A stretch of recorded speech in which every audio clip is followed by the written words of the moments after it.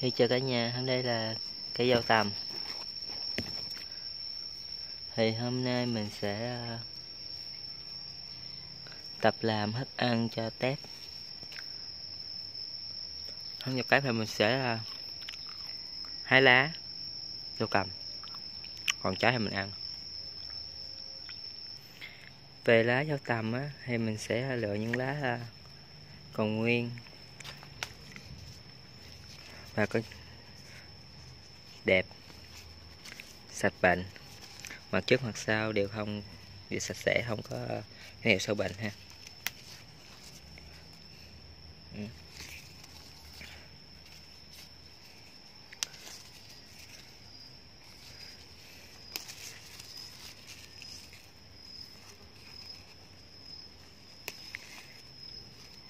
Mình ngắt những cái lá lớn đi.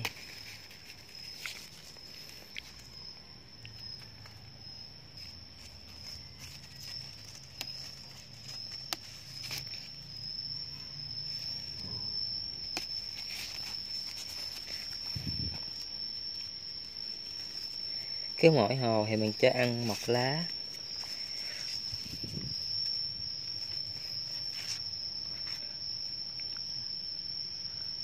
Này, trái nó chín đậm à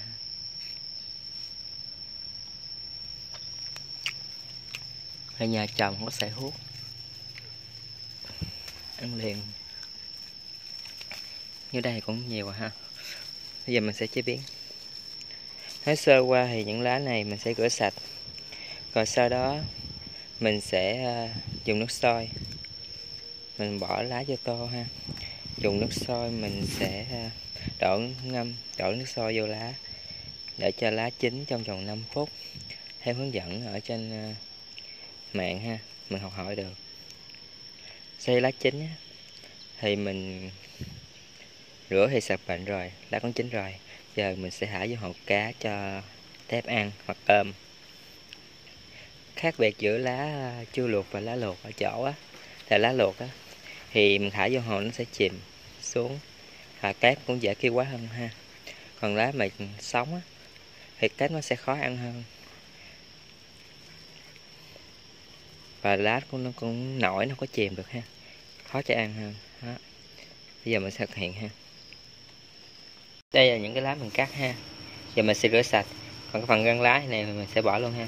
Này mình ngắt bỏ ha. Đó. rửa sạch. Hai mặt. Thân lá. Kỹ thì có thể ngâm vào một phút nè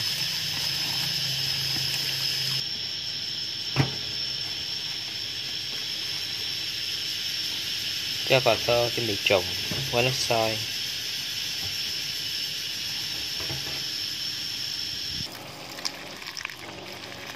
Cho nó sôi vào ha. Và đã cho nhận 5 phút.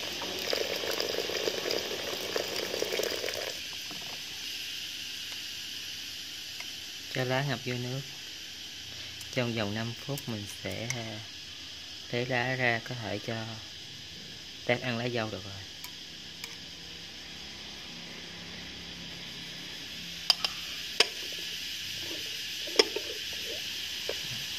Mình canh giờ 5 phút.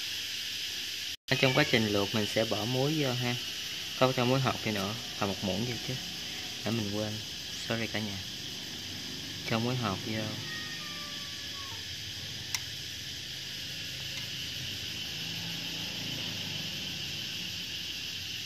Này, cái nước sôi rồi phải có trụng được rồi. Không cần phải nung cho ngày 5 phút. Cái nước sôi bỏ với lá dao cái nước sôi. Với muối hột. Cho vào 5 phút. Trong quá trình chờ đợi thì mình sẽ coi xét ờ, đây con nè. Lá dao này chứ mình không có nấu cho nên nó vẫn còn ba bốn ngày vẫn còn chưa con vừa đã nè. Lá dao mình nấu rồi thì nó đã ăn hết rồi ha.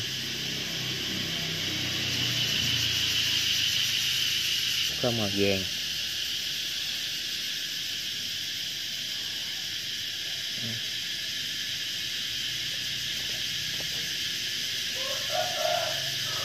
di chuyển chưa đó. còn đây là dòng thịt đỏ. Black Cherry cái hồ này bây giờ nó nắng nhiều quá, nó xinh lè ha. Và các con phát triển có. Đây là hồ lớn mình nuôi cá đây. Đây có con tôm màu trắng. Người sẽ cho phép và tôm ăn lá dâu.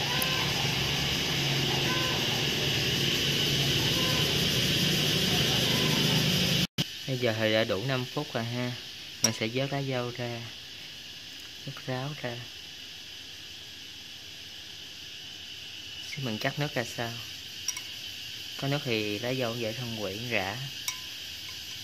Bình thường thì mình chỉ có nuôi ờ, ba hồ thôi. Hai hồ kiến nhỏ, một hồ lớn. Cứ mỗi hồ nhỏ thì mình cho nó ăn một lá thôi. Tầm một, hai ngày là hết nên mình có luộc nhiều.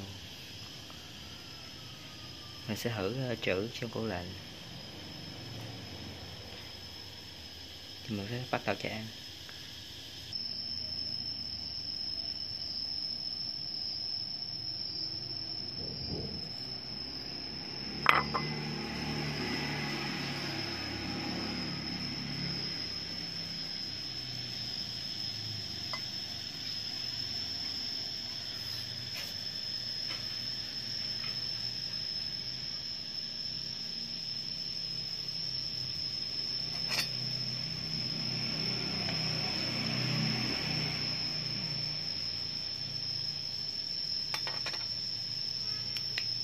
thả vô như thế này là được ha.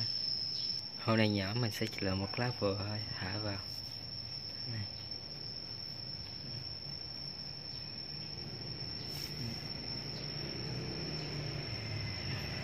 Lá dâu lơ lửng ha. Nó lá sẽ chìm bị đáy khi luộc thì lá dâu à. nó sẽ chìm mà mình cứ thả dưới đây. Tép nó đói nó tự lại ăn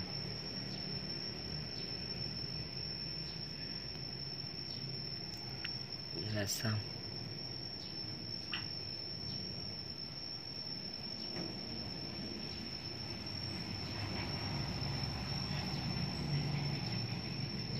con lớn này mình sẽ thả nhiều.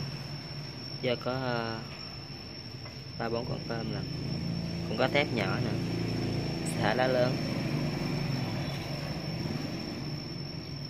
Thả trước bốn lá đi. Cho nó ăn từ từ.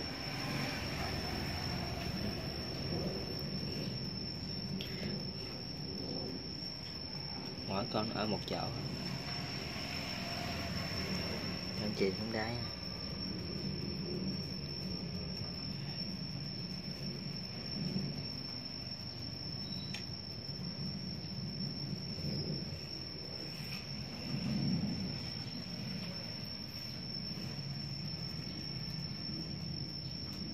Còn lại thì mình sẽ thử uh, trữ với củ lạnh lúc trước mà bỏ ngoài như thế này thì nước nó sẽ ờ, còn trong lá nó sẽ cạo mồ hôi, vậy bị phân hủy á, nó sẽ hư. Cái là mình mới bỏ trong vòng ờ, cái sáng, cái chiều thôi đó. Bây giờ mình sẽ thử ờ, lau khô lá xây lau khô thì cũng không khô ha, mình sẽ thả vô dĩa, bọc ni lông và bọc lạnh ngăn mát. Kết quả mình sẽ quay clip cho cả nhà xem. Mình sẽ kết thúc clip ở đây.